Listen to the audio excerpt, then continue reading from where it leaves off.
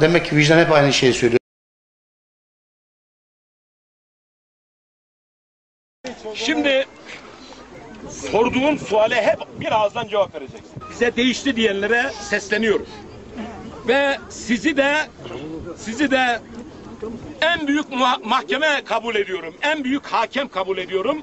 Sizden de çok dikkatli, sessiz şu feveranımı takip etmenizi istirham ediyorum. Beni duyuyor musun? Allah'ını seven dost doğru desin. Değişen ben miyim yoksa onlar mı? Onlar. Şeriat siz olun parmağı kesin. Öyle demezler mi? Şeriat kestin kestiği parmak acımaz.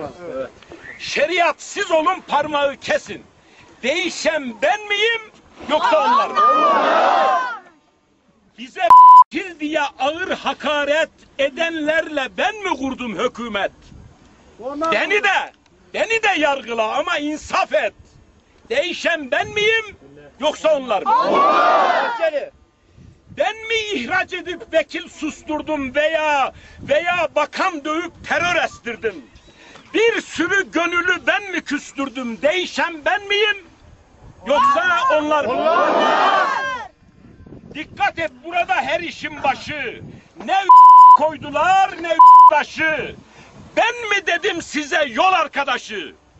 Değişen ben miyim yoksa onlar mı? Doğrudur. Doğrudur konuştum asla susmadım. Çünkü ben yanlışa imza basmadım. Ben mi asmadım? Değişen ben miyim?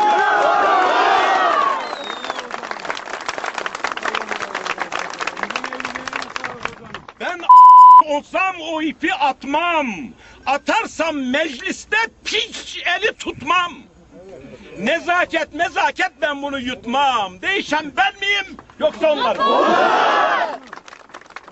Kavga ise kavga, kavgadan kaçmam. Değişen ben miyim yoksa onlar mı? Nerede o beraber yapılan toylar, o güzel geceler, o kurultaylar? Kurultay olsa da gelmiyor baylar. Değişen ben miyim yoksa onlar mı? Değişmek başkadır, gelişmek başka. Ben hala bağlıyım o eski aşka. Başbuğum söylerdi sağ olsa keşke. Değişen ben miyim yoksa onlar mı? Şunu görsün. Tartım da aynı. Kuralım da aynı, şartım da aynı. Ve onlara rağmen partim de aynı. Değişen ben miyim yoksa onlar mı? Yeter, kafidir bunlar. Anladıysa eğer erbaş olanlar, başçavuşta eşek değil ya anlar. Değişen ben miyim?